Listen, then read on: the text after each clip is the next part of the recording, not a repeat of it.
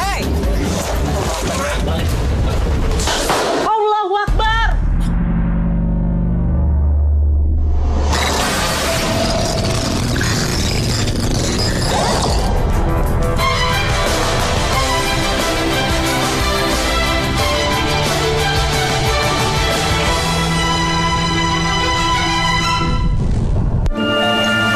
Ada sebuah tabir tipis yang memisahkan antara gaib dengan yang nyata.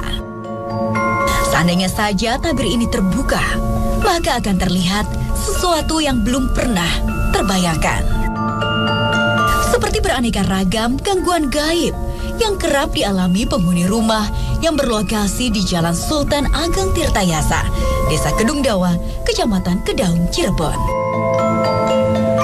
Dan hingga kini masih berlangsung berbagai teror menakutkan yang konon sengaja dilakukan oleh makhluk-makhluk tak kasat mata. Mulai dirasakan dari teras depan rumah hingga halaman belakang. Menurut Pak Nono sebagai pemilik tempat ini, bermacam gangguan penuh kejanggalan sering dialami olehnya. Begitupun juga anggota keluarga lainnya. Mulai dari melihat sosok pria serba hitam tanpa kepala, juga menyaksikan hadirnya burung hitam misterius yang kerap muncul pada malam-malam tertentu. Begitupun suara tangisan pilu dari sosok perempuan berambut panjang.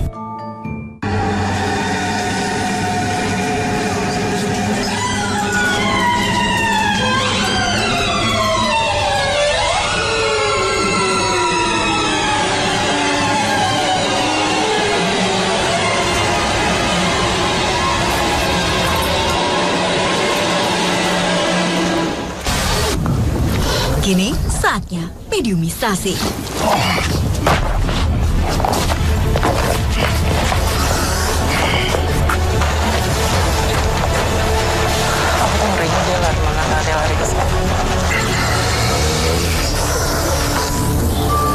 Assalamualaikum. Assalamualaikum. Oh, tidak mau menjawab pertanyaan saya. Nama Anda siapa? Jogret. Wujud Anda seperti apa ini? Ular? Teman-teman Anda juga berwujud ular? Saat asik berbincang, tiba-tiba seseorang tak sadarkan diri. Rumah.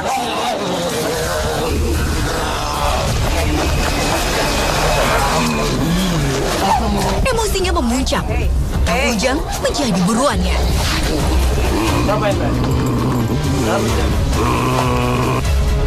Namun, ia belum dapat ditenangkan. Giliran salah satu kru kami jadi sasarannya. Oh, itu eh, teman Anda? Inilah.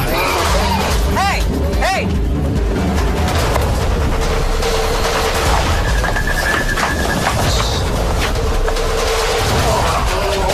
Hei, ya Allah. Waktunya mediator sadar.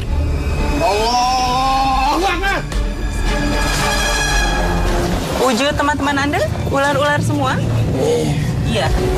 Tapi suka mengganggu gak sih sama penghuni rumah di sini?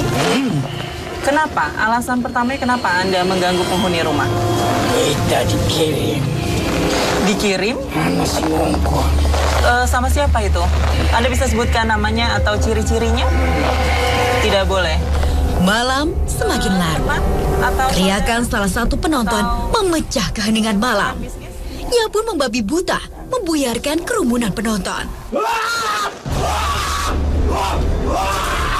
Hei,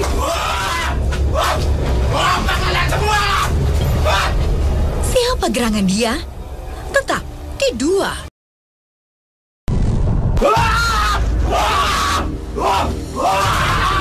Mediator terlihat seperti kehilangan kendali. Tingkahnya menakutkan saya.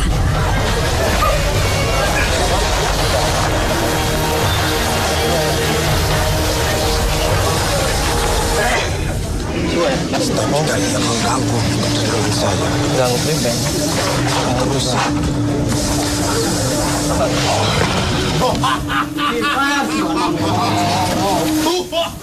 Oke, baturan nenek. Anda yang mengundi di mana? Hah? Di sebelah. Iya, nanti kami pergi setelah meninggalkan tempat ini.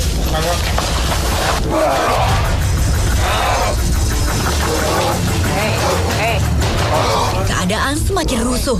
Sesama mediator malah saling menyerang. Ini ada barang.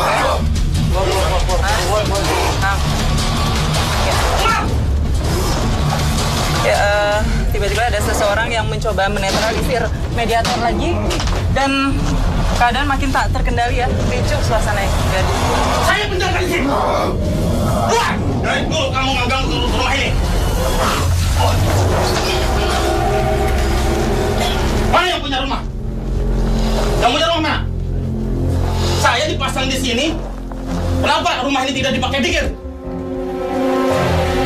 Apa pesan Ustaz? Interaksi berlanjut kembali. Dipakai dikir? Ini masih ada.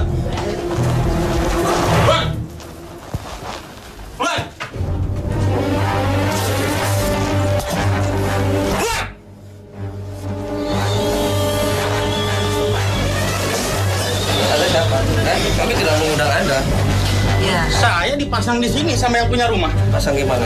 Suruh menjaga rumah ini Iya. dari hal-hal yang negatif. Iya. Gunakan rumah ini sebagai tempat ibadah juga. Iya. Percuma saya menjaga, tapi tidak dibantu dengan hati nurani Anda sendiri. Emang jaganya seperti apa ketika Anda dijaga itu buat apa?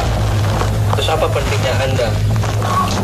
Ini datang salah satu seorang ustaz Hmm. dan meminta penjagaan rumah ini. Iya. Sayalah yang menjaga di sini. Iya. Tapi Anda eh, memang pernah mengamankan rumah ini dari apa?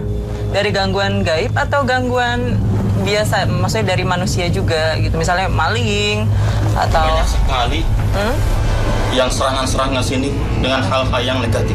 Oke, contohnya seperti apa tuh? Dan ini banyak yang membenci, Oh gitu. banyak yang benci. Merasa kan? Merasa. Tapi Anda jangan mengandalkan saya. Iya. Perbanyak zikir. Tujuannya untuk apa mereka? Kenapa menyerang Pak Nono? Manusia Hmm. banyak sekali. Padahal tidak ada seolah-olah jangan banyak membenci saudara. Hmm. Oke, bisa Anda tinggalkan tubuh orang ini? Dirasa cukup informasi, mediator pun dievakuasi.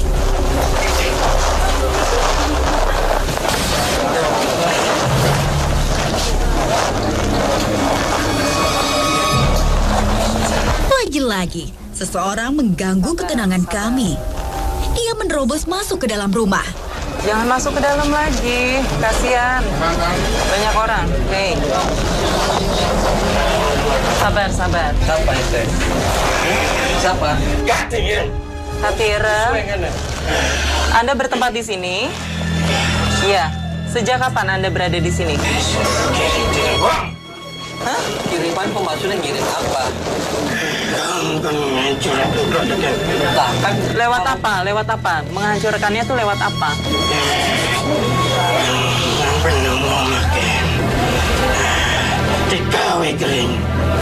Dikawe kering terus-terusan. Selain penyakit, apa lagi yang Anda bisa berikan?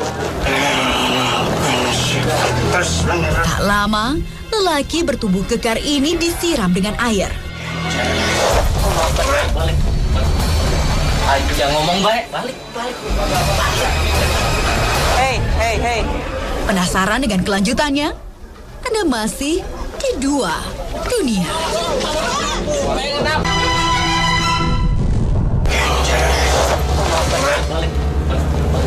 Balik. Jangan ngomong baik. Balik, balik. Hei, hei, hei. Hei. Beberapa orang masih tak dapat menolak kehadiran energi lain. Ada seseorang yang kerasukan kembali? Rupanya, laki-laki bertubuh kecil ini turut kehilangan kontrol. Dia menghantamkan beberapa genteng ke kepalanya.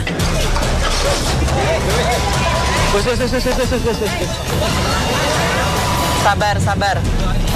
Hei, sabar, sabar.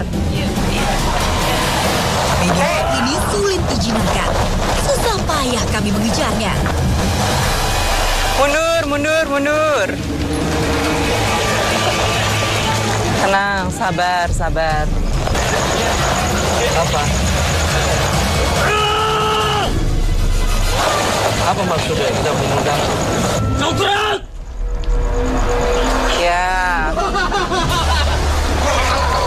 Tak disangka, ia memanggil teman-temannya. Mereka pun kerasukan bersamaan.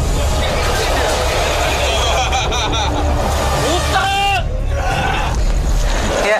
Jadi eh, mediator mencoba memanggil teman-temannya dan bisa Anda lihat sudah mulai banyak yang kehilangan kendali lagi. Kilo daya! Hei, Kilo daya! iya.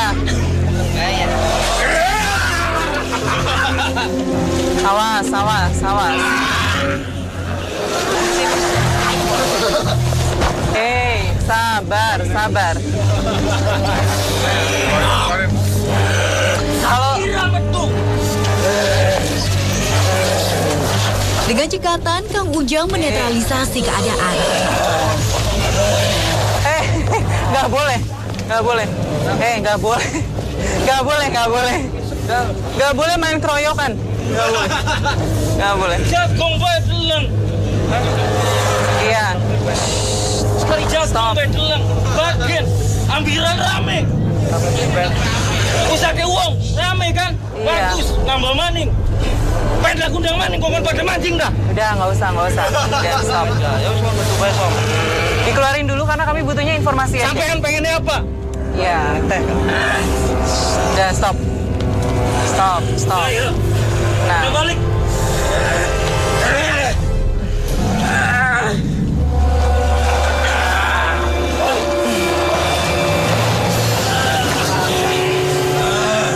Balik.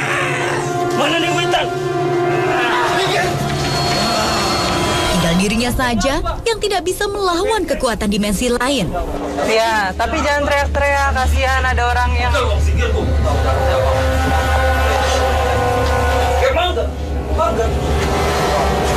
Ya. Biasa panggilan Anda ini siapa? Kibratasin. Dulunya sebelum dibangun rumah ini, apa sih sebenarnya? Kenapa rumah ini kok terkesan sangat angker hingga penghuni rumah tuh tidak nyaman berada di rumah ini? Ya bagus. Bagus apa? Kamu angker kan bagus. Ya enggak dong. Kamu angker kan gering kan bagus. Berarti dukune payu, dokternya payu, kiai payu, ustaz payu. Bener kan? Jadi makmur kabeane. Tapi kan kalau misalnya sakitnya karena orang-orang yang tidak suka dengan penghuni rumah kan kasihan penghuni rumahnya. Kan belum tentu penghuni rumahnya bersalah. Masalah salah bener ikungko urusannya. Namun kula sih bangsa bangsa halus. Kang memangan ya tak bela, tak turuti apa penjalukannya. Bangsa halus jat mengonot. Anda kang dipakai sesajen ya ana. Anda kang dipakai hadiah bacaan surat Quran ya ana. Iya. Kula sih sesat. Cok jaluknya apa? Kang ngongkon kula. Ya bisa. Kita menyambut Oh ya bisa. Aku sakit bukan aku secara bangsa Anda dan mengenai sakit pribadi. Ah, Ya durung kelakon kabeh pengennya si mati. eh nggak boleh kayak gitu. Kalau Anda merasa Anda bisa menyebab- menyebabkan seseorang meninggal tuh caranya dengan apa? Ya macem-macem pengennya cara apa? Yang ah, yang mengirim Anda Kek, bisa? Lewat impen, diweden-weden nih, sampai jantungan, jantungnya copot. Oke. Pengen sampai kapan mungkin Yuk dijaba yuk. Syukurlah, suasana kembali tenang.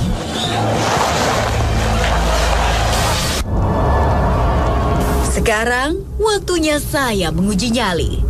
Mampukah saya berinteraksi langsung dengan mereka, makhluk-makhluk gaib? Sisan ular. Saya memilih sendirian. Tak lama terdengar suara ledakan yang bersumber dari dalam kamar. Allahu Akbar. Allahu Akbar. Ya tiba-tiba di salah satu kamar ada suara seperti ledakan ya dan ada api yang keluar dari kamar tersebut.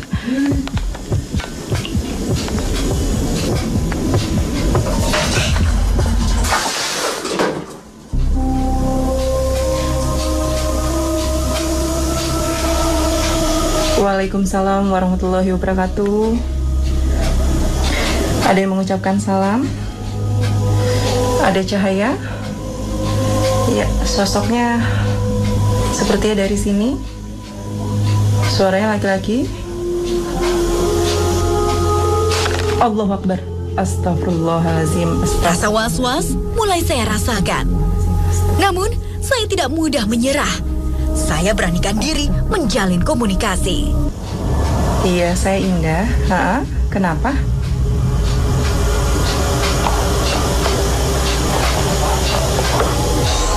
Ada yang ingin Anda sampaikan? Saya dengar ada suara perempuan. Dia seperti menangis. Eh, eh, saya menangkap ada seperti bayangan hitam. Dia melintasi depan kamera saya. Allahu Akbar. Allahu Akbar. Allahu Akbar. Allahu Akbar. Allahu Akbar. Allahu Akbar. Allahu Akbar. Allahu Akbar. Astagfirullahalazim. Astagfirullahalazim. Astagfirullahalazim. Ya, nampak jelas sekali ada kelibatan entah bayangan putih atau wujud putih ya. Seperti suara auman. Auman harimau. Hampir setengah jam saya di ruangan gelap ini. Berada lama di ruangan ini membuat saya sesak nafas.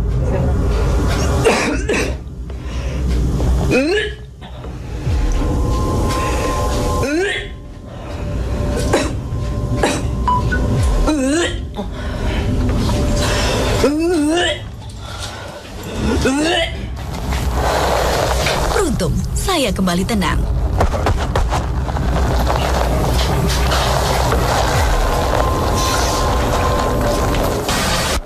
Untuk membuang semua energi juga aura negatif dari rumah ini, kami lakukan rukiah.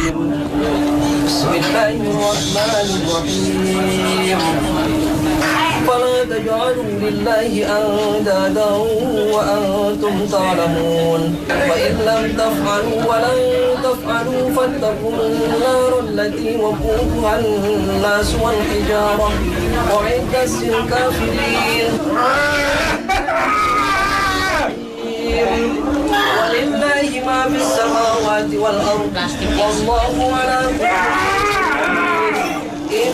Namun, beberapa orang sepertinya berbenturan energi.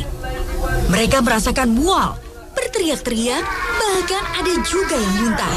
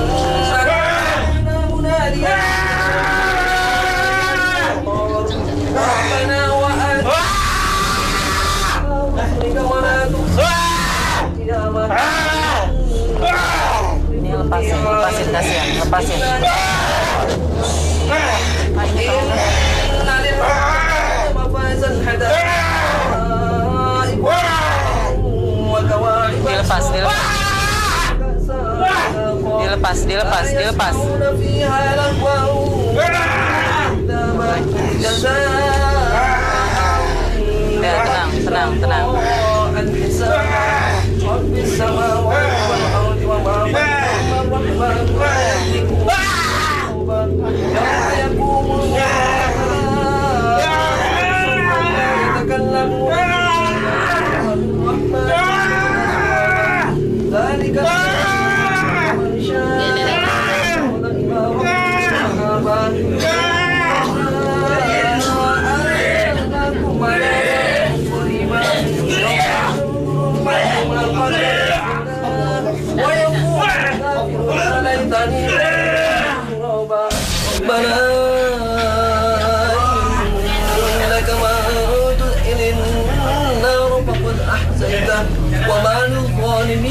للظالمين من أنصار ربنا إننا سمعنا مناديا ينادي للإيمان أن آمنوا بربكم فآمنا. لا إله إلا هو العزيز الحكيم. Ya, eh, Kang Ujang, setelah kita melakukan proses liputan kita malam ini, banyak sekali pembelajaran yang kita bisa ambil dari proses mediumisasi. Banyak sekali mediator yang menasehati kita justru ya, tidak akan mungkin eh, bisa mengganggu apabila kita mengingat kepada Allah. Iya, hikmah pada malam hari ini, alhamdulillah, ketika kita pengen menjadikan di mana dalam rumah itu sama Allah diberikan kasih sayang, diberikan kebahagiaan, diberi keselamatan, diberi ketentraman. Iya. Sangat mudah sekali. Ala bidzikrillah tatmainnul qulub. Zikirlah kepada Allah, maka hati akan menjadi tenang. Karena Rasulullah sendiri mengibaratkan ketika rumah itu yang jarang sekali dibacakan ayat suci Al-Quran atau dilakukan sholat-sholat sunnah itu Rasul menggambarkan rumah itu seperti